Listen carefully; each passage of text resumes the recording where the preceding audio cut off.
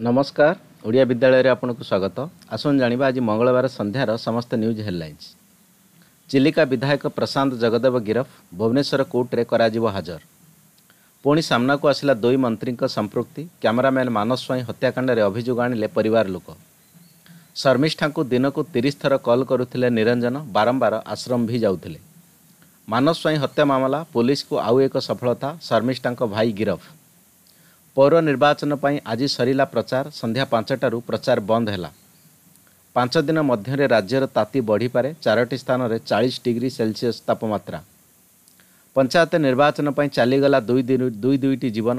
ଲୋକଙ୍କ ପରିହାସ ଉଜାଡ଼ି ଦେଲା ସଂସାର। ରାଜ୍ୟରେ ବଢ଼ିଛି ଜଙ୍ଗଲର ପରିମାଣ। ହେନ୍ତାଳ ବନ ପରିମାଣ ବୃଦ୍ଧିରେ ଦେଶର ଓଡ଼ିଶା ପ୍ରଥମ। ମା ମଙ୍ଗଳାଙ୍କ ପ୍ରସିଦ୍ଧ ନେତ୍ରୋତ୍ସବ କାକଟପୁରରେ ହଜାର ହଜାର ଶ୍ରଦ୍ଧାଳୁଙ୍କ ଭିଡ଼। ହ୍ରାସ ହେଲା କୋଭା କୋଭିସିଲ୍ଡର ଦ୍ୱିତୀୟ ଡୋଜ୍ ଅବଧି ଏଣିକି ଆଠରୁ ଷୋହଳ ସପ୍ତାହ ମଧ୍ୟରେ ଦିଆଯିବ ଦ୍ୱିତୀୟ ଡୋଜ୍ ଟିକା। ଆଜି ବିଶ୍ୱ ଜଳ ଦିବସ ଦୁଇହଜାର ବାଇଶ ଶେଷ ହେଉଛି ଜଳସ୍ତର ଭବିଷ୍ୟତରେ ଆହୁରି ଉତ୍କଟ ହେବ ଜଳ ସମସ୍ୟା।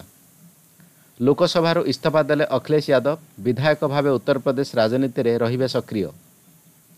ଦିଲ୍ଲୀର ତିନି ନଗର ନିଗମକୁ ବିଲୟ କରି ଗୋଟିଏ କଲେ ମୋଦି ସରକାର କ୍ୟାବିନେଟ୍ ବୈଠକରେ ନିଷ୍ପତ୍ତି।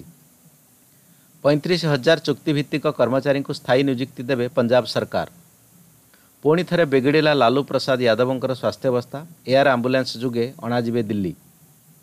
ପଶ୍ଚିମବଙ୍ଗରେ ପୁଣି ରାଜନୈତିକ ହିଂସା। ବାର ଘରେ ଦୁର୍ବୃତ୍ତ ଲଗାଇଲେ ନିଆଁ ଦଶ ମୃତ। କାଶ୍ମୀର ପଣ୍ଡିତମାନଙ୍କ ସହ ଯାହା ଘଟିଲା ତାହା ଏକ ଷଡ଼ଯନ୍ତ୍ର ଥିଲା କହିଲେ ଫାରୁକ ଅବଦୁଲ୍ଲା। ମୋ କାମକୁ କେହି ଜଣେ ଚିହ୍ନିଲେ। ପଦ୍ମଭୂଷଣ ସମ୍ମାନରେ ସମ୍ମାନିତ ହୋଇଥିବା ବରିଷ୍ଠ କଂଗ୍ରେସ ନେତା ଗୁଲାମ ନବୀ ଆଜାଦ କହିଛନ୍ତି ମହିଳାଙ୍କୁ ମୋଦି ଦେଉଛନ୍ତି ମାଗଣା ସିଲାଇ ମେସିନ୍ ମୋଦିଙ୍କ ଏହି ଯୋଜନାରେ ଅନେକ ମହିଳା ହେବେ ଲାଭବାନ ପ୍ରତି ରାଜ୍ୟରୁ ପଚାଶ ହଜାର ମହିଳା ପାଇବେ ଏହି ସୁବିଧା କ୍ଷୀର ପେଟ୍ରୋଲ ଓ ଡିଜେଲ ପରେ ବଢ଼ିଲା ଗ୍ୟାସ୍ ସିଲିଣ୍ଡରର ମୂଲ୍ୟ ଜେଏନ୍ୟୁ ଦିଲ୍ଲୀ ୟୁନିଭର୍ସିଟି ସମେତ କେନ୍ଦ୍ରୀୟ ବିଶ୍ୱବିଦ୍ୟାଳୟରେ ବଦଳିଲା ଆଡମିସନର ନିୟମ ଇମ୍ରାନଙ୍କ ବିଦାୟ ନିଶ୍ଚିତ। ପ୍ରଧାନମନ୍ତ୍ରୀ ଭାବେ ଘୋଷଣା କଲେ ବିରୋଧୀ ଦଳ।